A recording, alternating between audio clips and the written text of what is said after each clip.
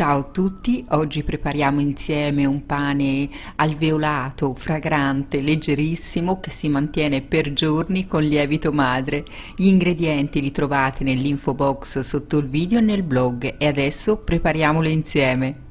Ho rinfrescato il mio lievito madre, ha raddoppiato di volume dopo 3-4 ore, quindi è ben attivo ed in forza ne peso 130 grammi e li metto in un contenitore.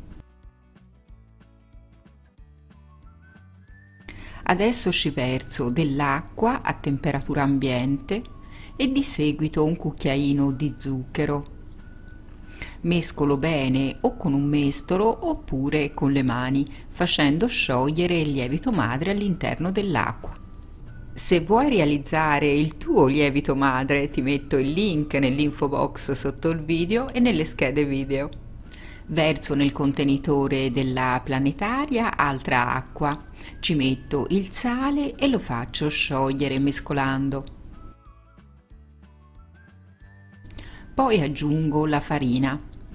Andrò ad utilizzare una semplice farina zero Mescolo col mestolo velocemente, facendo assorbire grosso modo tutta l'acqua dal contenitore. In questo modo terrò la farina in autolisi per circa 20 minuti. Questo faciliterà lo sviluppo del glutine. Copro con un canovaccio e aspetto. Trascorsi 20 minuti verso il lievito madre all'interno del contenitore della planetaria ed inizio ad impastare col gancio Andrò ad impastare il tutto per un totale di circa 15 minuti, alternando la velocità 2 con la velocità 3. Se vuoi realizzare il pane con il lievito di birra cotto in pentola, ti metto il link nell'info box sotto il video e nelle schede video.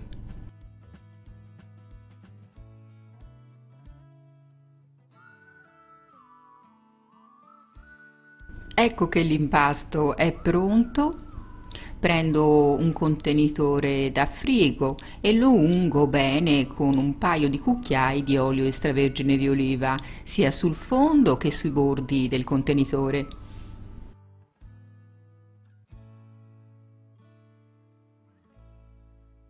Dopodiché ci lascio cadere l'impasto all'interno. Ed inizio subito facendo un giro di pieghe. Fare delle pieghe fatte bene agli impasti è fondamentale perché ci garantirà uno sviluppo corretto dell'impasto. Tra l'altro sono anche semplicissime da fare. Basterà semplicemente tirare l'impasto e riportarlo dalla parte opposta premendolo. Faccio questa operazione sui quattro lati dell'impasto.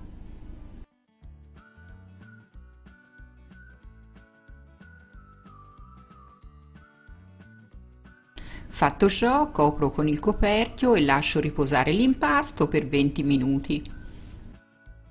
Dopo 20 minuti procedo con il secondo giro di pieghe, tiro l'impasto e lo porto dalla parte opposta premendolo. Faccio questa cosa sui quattro lati dell'impasto.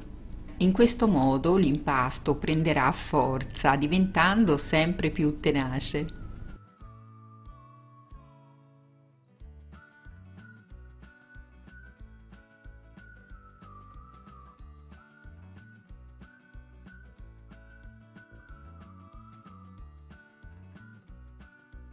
Copro con il coperchio e lascio rilassare altri 20 minuti.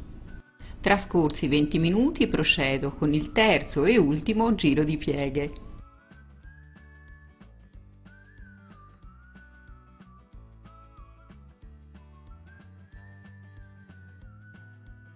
E fatto anche l'ultimo giro di pieghe, copro con il coperchio e lascio lievitare.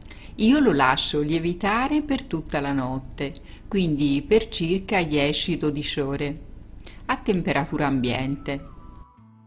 Ed ecco il mio impasto il giorno successivo, guardate che meraviglia! Infarino il piano di lavoro e ce lo lascio cadere capovolgendo il contenitore.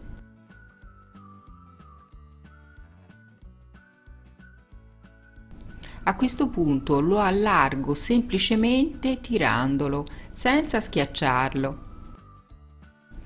E adesso formo la mia pagnotta rotonda. Sovrappongo i due lembi di impasto e li premo, chiudendoli. Faccio la stessa cosa anche dall'altra parte e al centro.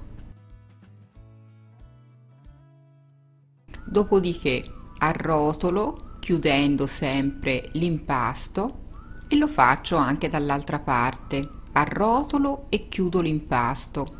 Dopodiché giro l'impasto, lo capovolgo e formo un panetto, facendolo roteare sulle mani. Faccio con delicatezza.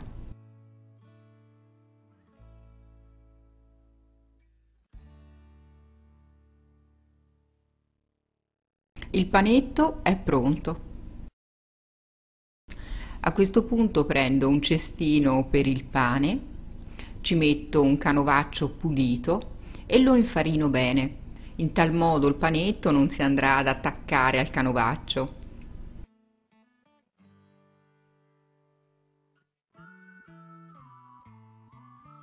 Adesso sistemo il panetto all'interno del canovaccio infarinato, lo infarino anche sopra e lo copro.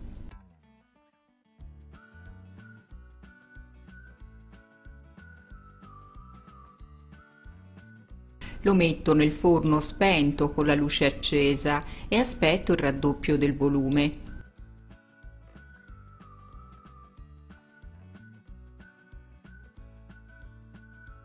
E dopo un paio d'ore ecco il mio pane ben lievitato. A questo punto preparo la mia pentola di alluminio per la cottura del pane nel forno. Accendo il forno statico a 250 gradi e ce la sistemo all'interno e porto il forno a temperatura. Il forno è a temperatura e la pentola è ben bollente. A questo punto ci capovolgo il panetto all'interno con un movimento ben deciso. Il pane non si andrà ad attaccare perché la pentola è calda e quindi si formerà subito una crosticina. Una volta capovolto muovo un po' la pentola per sistemarlo bene all'interno. Metto il coperchio ed inforno. Il forno, come già vi ho detto, è statico a 250 gradi. Faccio cuocere il pane per 40 minuti. Dopo 40 minuti di cottura tolgo il coperchio, abbasso il forno a 220 gradi e procedo la cottura per altri 25 minuti. A cottura ultimata tolgo il pane dal forno. Guardate che meraviglia! Puoi cuocere il pane anche sulla teglia da forno oppure su una pietra refrattaria. In tal caso non sarà necessario capovolgerlo, ma sarà necessario praticare dei tagli sulla superficie prima della cottura.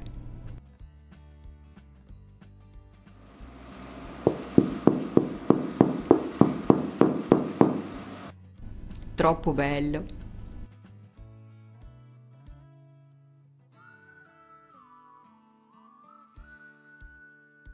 Se voglio ottenere un pane più croccante all'esterno, rimetto il pane nel forno a biscottare per circa 10 minuti, sempre nel forno caldo statico a 220 gradi.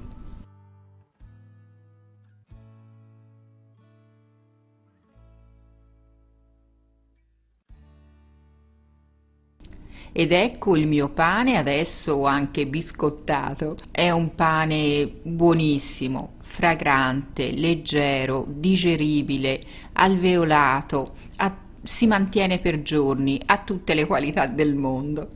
E pensate che l'ho fatto con una semplice farina zero. A questo punto, prima del taglio, anche se sono molto tentata, devo farlo, devo farlo freddare. Per farlo freddare in modo corretto basterà appoggiarlo su un tagliere per il verso verticale.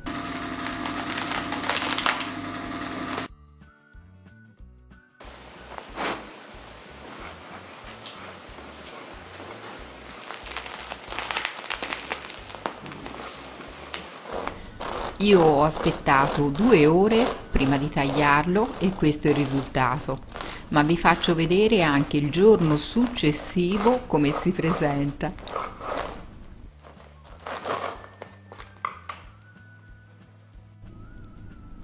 Ed ecco il taglio il giorno successivo. Guardate che meraviglia!